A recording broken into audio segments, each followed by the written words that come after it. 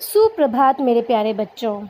बच्चों, आज हम अपनी हिंदी विषय की कक्षा में सीखेंगे कि कौन सी वस्तु को किस प्रकार से तोला जाता है। अर्थात, बच्चों, कुछ वस्तुओं को हम तोल कर खरीदते हैं, कुछ वस्तुओं को हम नाप कर खरीदते हैं और कुछ वस्तुओं को गिन कर खरीदा जाता है। तो बच्चों आइए हम जानते हैं कि किस वस्तु को किस प्रकार से खरीदा जाता है। बच्चों, सबसे पहले हम जानते हैं आम के बारे में। आम को किस प्रकार से खरीदा जाता है। आप सभी को पता होगा कि आम को हम तोल कर खरीदते हैं।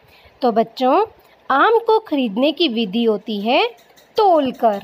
आम को तोल कर खरीदा जाता है। बच्चों, उसके बाद है केला।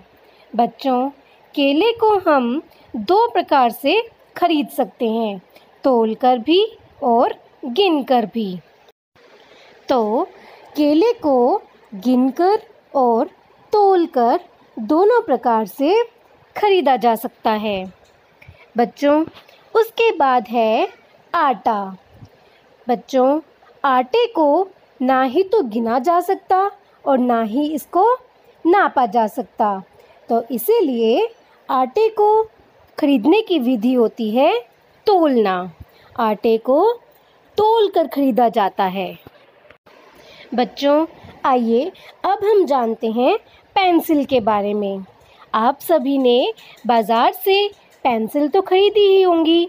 तो आप पेंसिल कैसे खरीदते हैं? शाबाश। पेंसिल को गिन कर खरीदते हैं। तो बच्चों, पेंसिल को खरीदने की विधि क्या है? गिनना। पेंसिल को गिन कर खरीदा जाता है। बच्चों, अब चित्र आता है कमीज़ का। तो बच्चों, कमीज़ को भी हम गिन कर खरीदते हैं। कमीज़ को कैसे खरीदा जाता है? गिन कर शाबाश। बच्चों चलिए, अब चीनी के बारे में जानते हैं। बच्चों, क्या आप चीनी को गिनकर खरीद सकते हैं? नहीं खरीद सकते। तो बच्चों, चीनी को खरीदने की विधि होती है तोल कर चीनी को हम तोल कर खरीदते हैं। बच्चों, उसके बाद है टॉफ़ी।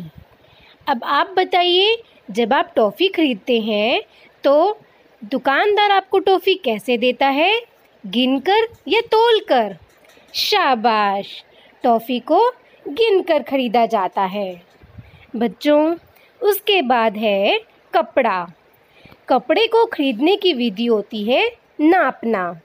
तो बच्चों, कपड़े को नाप कर खरीदा जाता है। बच्चों, अब हम बात करते हैं दाल की।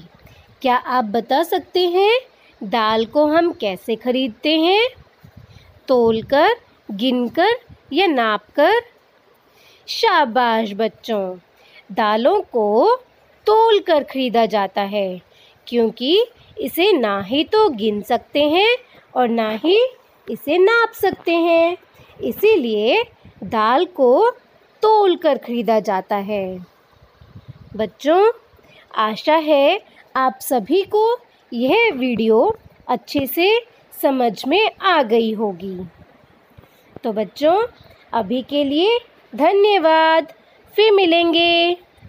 तब तक आप अपना ध्यान रखें और ध्यान से पढ़ें।